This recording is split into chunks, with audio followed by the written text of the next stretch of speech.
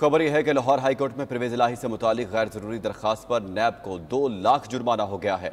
Justice Tariq Salim Sheikh की सरबराही में दो रुकनी बेंच ने फैसला सुनाया। अदालत ने नैब की दरखास्त गैर ज़रूरी करार देकर खारिज कर दी। फैसले में कहा गया है कि नैब की दरखास्त वक्त ज़ाया करने के मुतरद है। एहतसाब अदालत ने तरक्याती मनसूबों के रेफरेंस की इंक्वायरी का रिकॉर्ड देने का हुक्म दिया था। लाहौर हाई कोर्ट में परवेज इलाही से मुतल गैर ज़रूरी दरखास्त पर नैब को दो लाख रुपये जुर्माना।